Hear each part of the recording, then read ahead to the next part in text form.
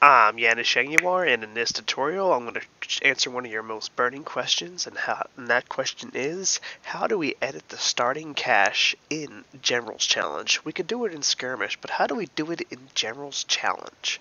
So first and foremost, we're going to need to extract some maps from our maps zero hour.big, and specifically we're going to look for all the maps that have a GC at the start, and we're just going to extract all them Alright, now that you extracted them, we are going to now open up World Builder. And that's very important because remember, World Builder is our debugger and it's also our map maker. So let's go see what that looks like. Now you will get these uh, these little pop-ups because the game does have bugs in it even in the beginning, so we just ignore those and you can debug them later.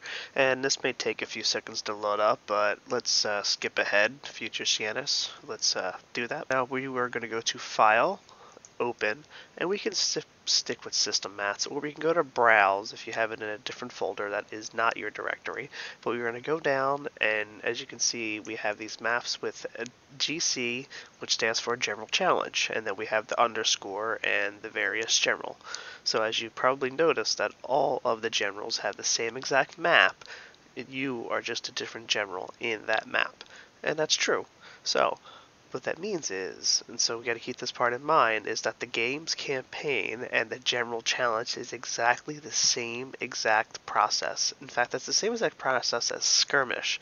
The specific difference is, though, is that single player maps, such as the campaign for USA, China, GLA, and general's challenges, are heavily scripted to be more choreographed. So example number one, I'm going to use the boss general as our example, and we are going to go to edit, scripts, and this can be a different on the different maps, but basically you go down to the player and you can find it there pretty much under difficulty adjustments.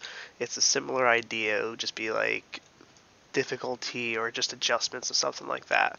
And I'll show you a few other examples too. And then you can just go down here and as you can see different things are removed and added or rather just removed.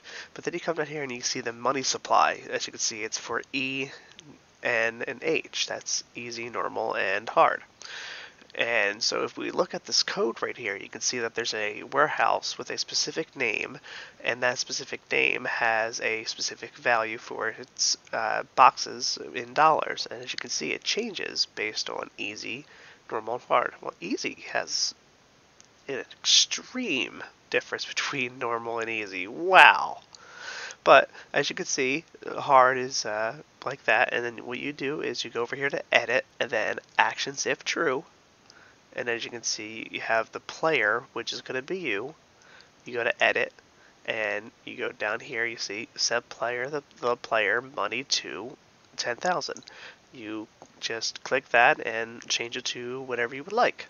And it's that simple the tank general you can find it in player bonuses and that sets the money for the player for starting, including a supply box bonus. When you uh, and here's another example for the air general. It is additional starting money. Remember, you just go to edit and actions if true, edit, and then just change the integer there, and make sure you save everything. Just hit OK for everything. Go to File, Save and you should have higher starting cash now. Thank you for joining me, and if you have any other questions or curiosities, uh, feel free to leave a comment below. So maybe I'll see you at the Discord, maybe I'll see you in the comments section. Remember, I also have a Facebook group and a Facebook page now, and uh, yeah, I'll see you around. Little did he know.